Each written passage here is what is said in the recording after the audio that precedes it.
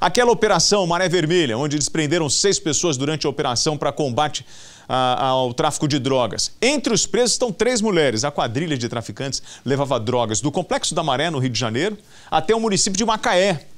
A quadrilha vinha sendo investigada, sabe há quanto tempo? Há seis meses, só no grampo. O bando recebia ordens de dentro do presídio de Jericinó, mais conhecido como Bangu. Segundo a polícia, a movimentação dessa turma aí chegava a um milhão de reais por mês. Inclusive, um dos traficantes presos, conhecido como. Como é que era o nome dele, ô Mari? É Parazão, não é isso? O tal do Parazão. Né? Ele tinha uma, uma, uma dupla identidade. Ele trabalhava numa seguradora com carteira assinada e, nas horas vagas, vendia a porcaria da droga. A quadrilha foi investigada durante seis meses. Seis pessoas foram presas preventivamente, suspeitas de fornecer e transportar drogas das comunidades Nova Holanda e Parque União, no Complexo da Maré, até o município de Macaé, no norte fluminense.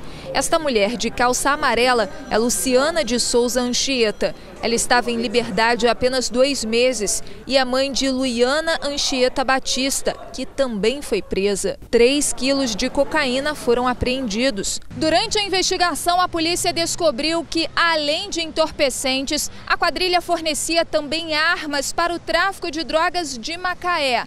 A movimentação financeira do grupo chegava a um milhão de reais por mês. Cerca de 80 policiais participaram da ação na comunidade Lagomar, uma das mais perigosas de Macaé. A operação teve o apoio de policiais da Coordenadoria de Recursos Especiais, a CORE.